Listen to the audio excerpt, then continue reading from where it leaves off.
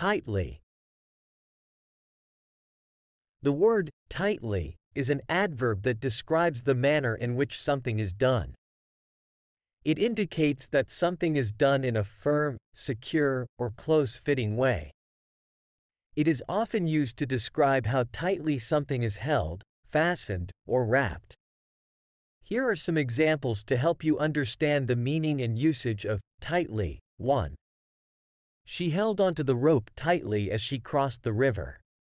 In this example, tightly emphasizes how firmly the person held onto the rope, indicating that they had a strong grip. 2. He tied the knot tightly so that it wouldn't come undone. Here, tightly suggests that the knot was securely fastened, ensuring that it would not loosen or untie easily. 3. The lid of the jar was screwed on tightly to keep the food fresh. In this sentence, tightly indicates that the lid was closed firmly and tightly, preventing any air or moisture from entering the jar. 4. The child hugged his teddy bear tightly, seeking comfort.